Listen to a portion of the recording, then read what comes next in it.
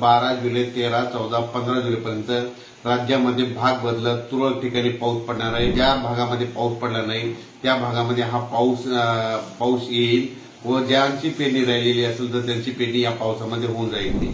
पेरणी करत असताना जमिनीमध्ये एक ईद ओल गेल्याच्यानंतर जमिनीमध्ये आपण स्वतः स्वतः पेरणी करून घ्यावी.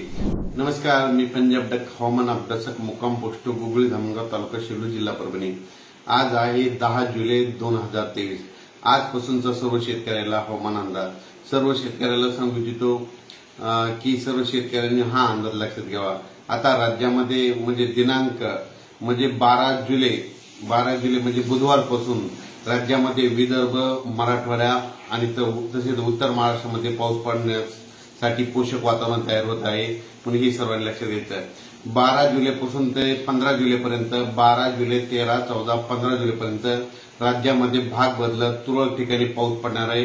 म्हणून हा अंदाज सर्व शेतकऱ्यांनी लक्षात घ्यायचा सर्व शेतकऱ्याला सांगू इच्छितो की ज्या भागामध्ये पाऊस पडला नाही त्या भागामध्ये हा पाऊस पाऊस येईल व ज्यांची पेरणी राहिलेली असेल तर त्यांची पेरणी या पावसामध्ये होऊन जाईल.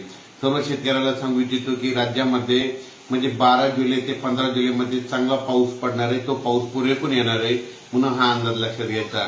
आणि सर्व शेतकऱ्यांनी एक एक गोष्ट लक्षात घ्यायची. पेरणी करत असताना जमिनीमध्ये एक ही ओल गेल्याच्यानंतर जमिनीमध्ये आपण स्वतः स्वतः पेरणी करून घ्यावी. तसेच राज्यामध्ये परत पुन्हा एकोणीस तारखेच्या नंतर एकोणीस जुलैच्या नंतर परत पुन्हा पावसाचं वातावरण तयार होणार आहे म्हणून हे देखील अंदाज लक्षात घ्यायचा. सर्व शेतकऱ्याला सांगू इच्छितो की